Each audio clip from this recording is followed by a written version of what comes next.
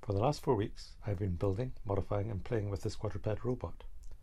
It is based on the spider robot designed by Regis Hsu, available on Thingiverse and described on Instructables.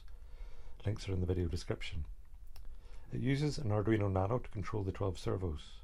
The original used manually wired perf board to connect them all together, and I was going to do the same until I checked out the pinouts for the Nano and decided that the replacement body from SB43201 that allowed the Nano expansion board to be used is a much simpler solution. The link to this design on Thingiverse is in the video description as well. However, this design was for SG90 servos and my MG90s were slightly deeper, so I had to remix the design to get the servos to fit.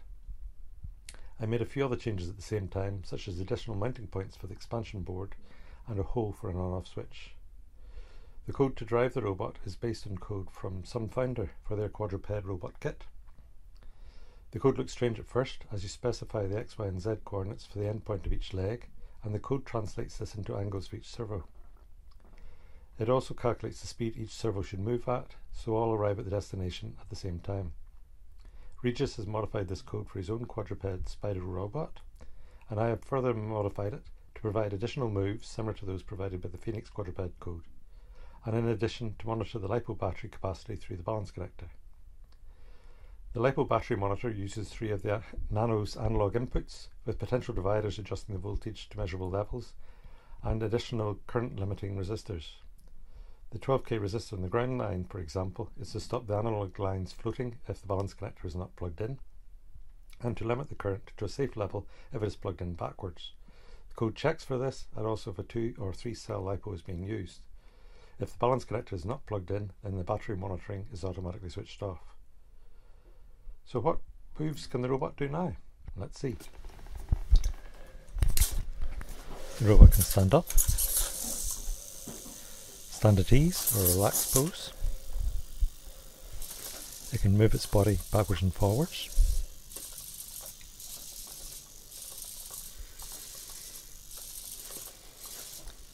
Or side to side.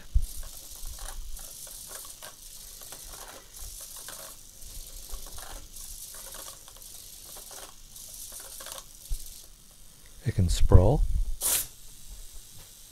and recover. It can gyrate.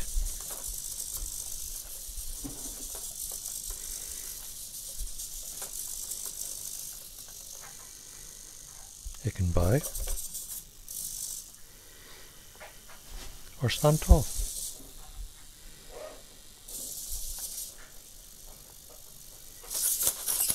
It can twist its body from side to side.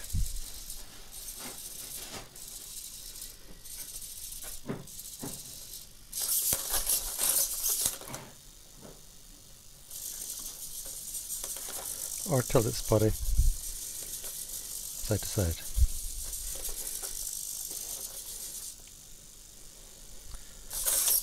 I call this move stagger, although it's less of a stagger now that I've changed the code so that the robot moves its body and hence its center of gravity away from the leg that it's about to lift. And of course it can still move forward and backwards.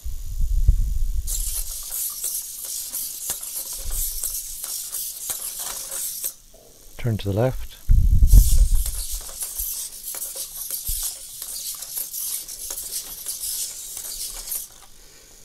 And turn to the right.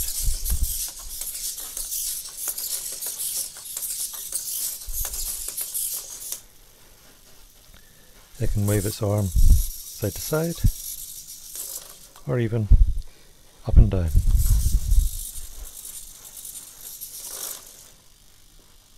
Or sit same as usual. The robot is driven by a switching buck that converts the LiPo voltage into 5 volts that powers the interface board. There is also a HC05 Bluetooth interface which allows me to monitor what's going on on my cell phone.